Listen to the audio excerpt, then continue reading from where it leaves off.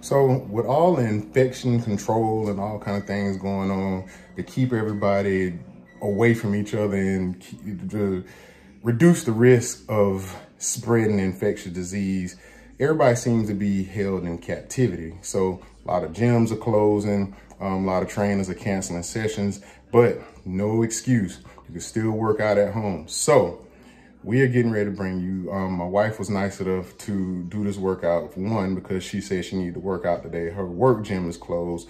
Two, I mean, I can always practice my personal training and my coaching skills on my wife. So take a look at this video and let us know how you like it.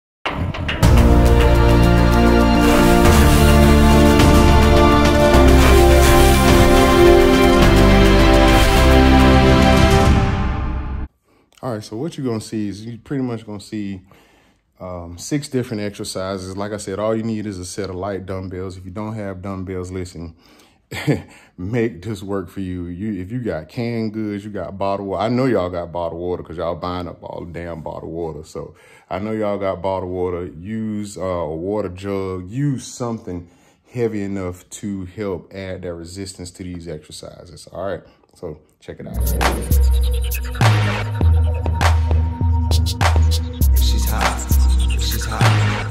She's hot. She's hot.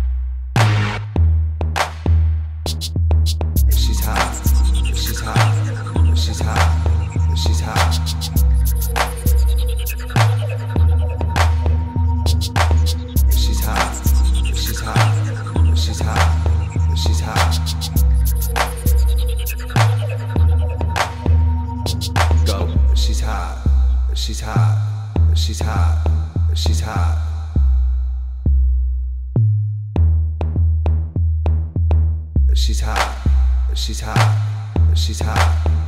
hot. Go.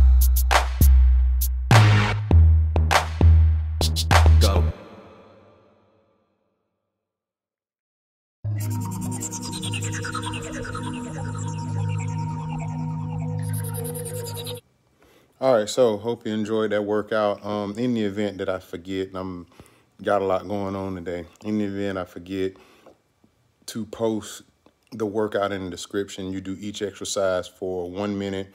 You rest 10 seconds to transition into the next exercise. All six exercises will equal one round. You'll do three total rounds. Um, the ab workout is for 30 seconds each movement. So you would do ab wheel, then you would go to the med ball knee ins, 30 seconds each leg, and you would do that for a total of three minutes. There's plenty of interval apps out there you can download. Just check the uh, Google Play Store, App Store, whichever phone you have, and check it out. Um, let us know how you liked it. Thanks for watching. Don't forget to like, subscribe, reshare.